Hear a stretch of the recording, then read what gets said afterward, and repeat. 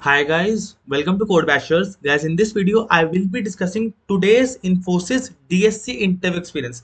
This interview happened today only, that is on 7th May 2022. So guys, make sure that you watch this video till the end and do not skip any of the questions which were asked in this interview.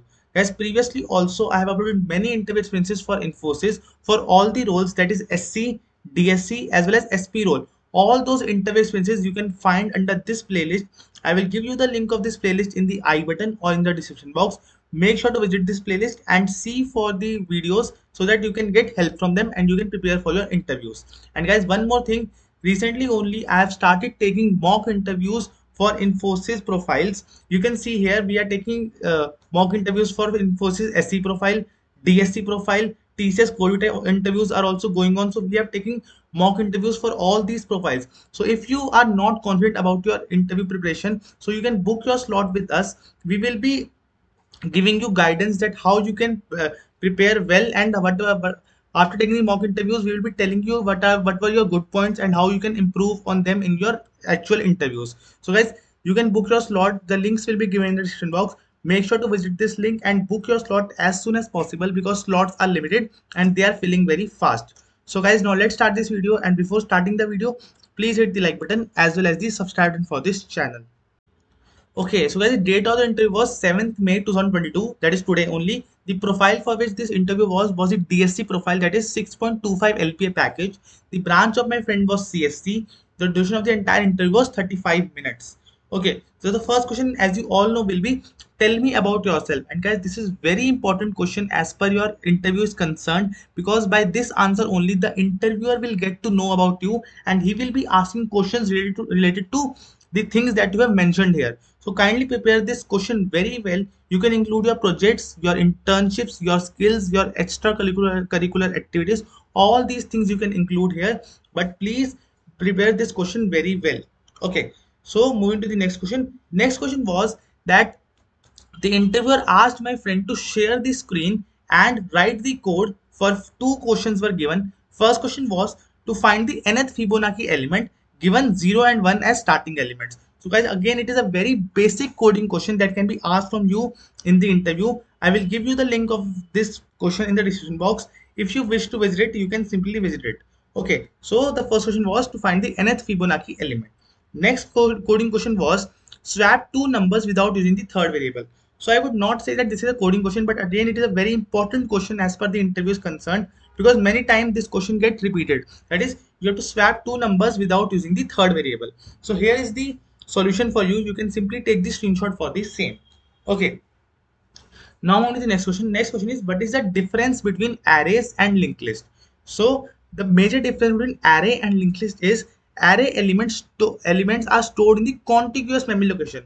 Like if one element one is stored here then second element will be stored uh, right be right uh, ahead of one. Like this the elements will be stored. But this uh, the, this is not the case with linked list. We do not know in linked list the two elements are stored. One is stored at one location and another one will be stored at any other location in the memory. So how we can how we can find the next element in linked list? See in a linked list uh, in a linked list there is a node which consists of two parts. One is the data that is the data that that node will contain and next part is the address node that is the address of the next node.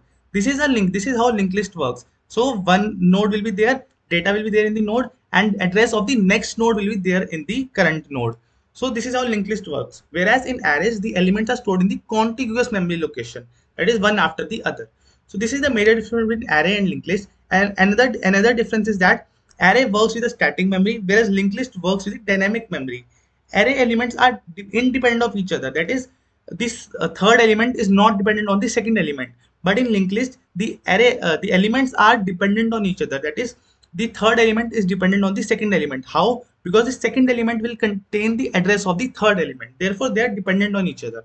So I hope now the difference between array and linked list are clear to you. Okay. Next question is, what is a deque? So as deque is nothing. Deque, you can say deque, the full form of deque is double-ended queue. It is a generalized version of a queue data structure that allows insert and delete at both ends. Now we all know that a normal queue uh, allows the insertion from the end and uh, and allows the deletion uh, from the first that is FIFO first in first out insertion from end and deletion from beginning. This is a normal queue. But a dequeue is a generalized version of a queue that it allows the deletion as well as addition from both the ends. So from front also you can add and delete and from back also you can add and delete the element. So I hope now this particular this particular data structure is clear to you. Okay. Next question was what is the real life application of dq So guys in previous videos also I have told you that the data structures and the real life application are very important for all the data structures you must know at least two of the real life applications of that data structure for this particular purpose i have made a dedicated video on my channel in which i have discussed the real life application of different data structures. You can watch that video after watching this video. I will give you the video link in the i button or in the description box. Make sure to visit it. And what is the real life application of DQ? again this question is depend uh, this question i will leave it to you. Please write in the comment section that what are what do you think is the real life application of DQ. so do comment your answer in the comment section below so i hope this question is also clear to you. And guys if you have not liked the video till now please like it and please subscribe this channel because more such videos will be coming your way. Okay. Next question was which language you prefer? So my friend said c++ so guys again i want to remind you that we have started taking mock interviews for DSE profile as well as for the SE profile of Infosys. If you are not confident about your preparation, do book your slot. We will take the mock interview with you and we will tell you about the good points and the bad points about your interview and how you can improve them in your actual interviews. The slots are limited. Go book your slot right now. The links are in the description box. Okay.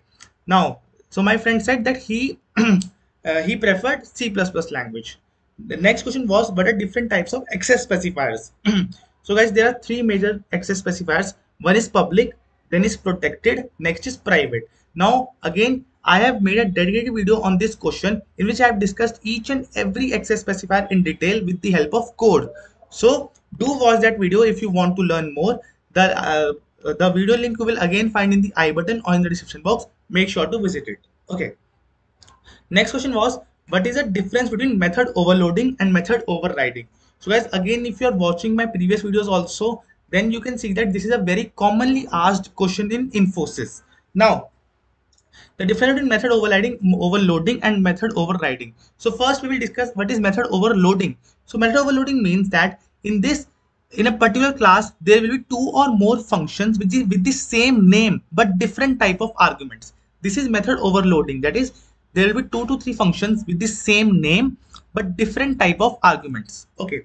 Next is method overriding what does method overriding do? Let's just suppose we have two classes. One is a parent class another one is the child class.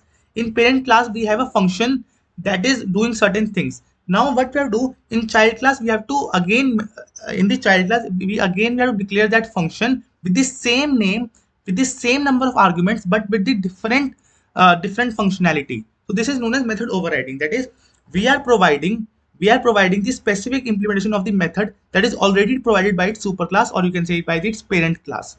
So I hope now the method overloading and method overriding is clear to you. Method overloading uh, is performed within the class whereas method overriding is performed within two classes. So I hope now the difference is clear to you. Okay. Next question is what is a friend function?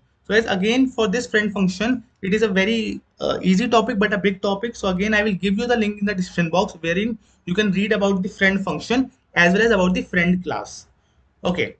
Now moving to the next question. Are you comfortable with SQL? So guys, you are giving DSE interviews. So you must be comfortable with OOPS concept, with the SQL concepts. All these concepts you must be familiar with. So my friend said yes, that he was comfortable with SQL. Okay. Next question uh, was what is the difference between DDL and DML commands? So first of all, what is the uh, uh, what is the full form of DDL command? That is data definition language. And DML command it stands for data manipulation language. Now, DDL commands are used to create database schema and can be used to define some constraints as well. Now let's just suppose DDL commands are used where we have to change the layout of the schema.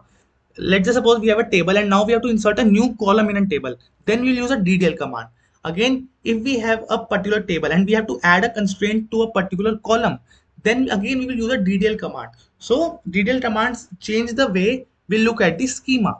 Whereas dml commands are used to simply add the data inside the table retrieve the data from the table and update or delete the data from the table. So I hope now the difference between DDL and DML commands are clear to you.